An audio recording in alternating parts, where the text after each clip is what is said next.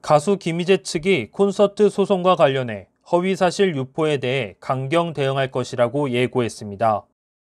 김희재 소속사 측은 16일 공식 팬카페를 통해 공지사항을 게재했습니다.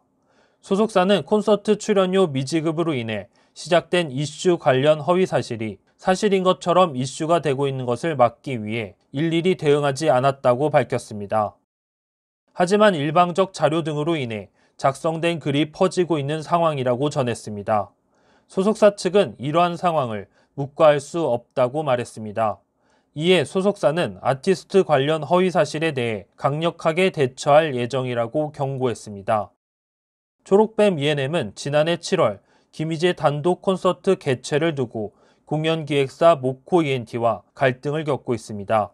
김희재 소속사 측은 공연 기획사가 약속한 8회 공연 중 5회 출연료를 지급하지 않았다면서 계약 무효 소장을 제출했습니다.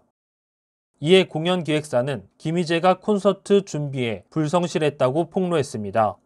또한 지난 9일 김희재 측의 콘서트 계약 파기에 따른 손해액으로 3억 4천만 원을 주장했습니다.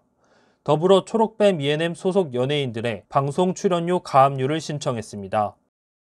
초록뱀 ENM 측은 가압류 통지서를 받지 않았다면서 받는 즉시 공탁을 통해 가압류를 해제할 것이라고 밝힌 바 있습니다. 뉴스토마토 신상민입니다.